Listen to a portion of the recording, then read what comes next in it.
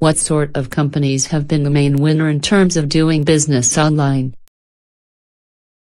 Well, the first and most obvious group are companies that were set up specifically to do business online, er, the giant booksellers, like Amazon.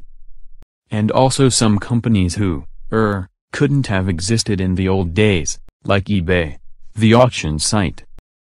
Um, I think second are small companies that have been able to sell outside their traditional markets. That's now much easier for them.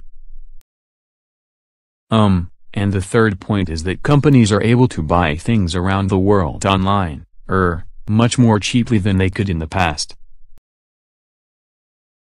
Both large companies and also your local plumber might be able to buy something in Hong Kong, er, when he never could have before.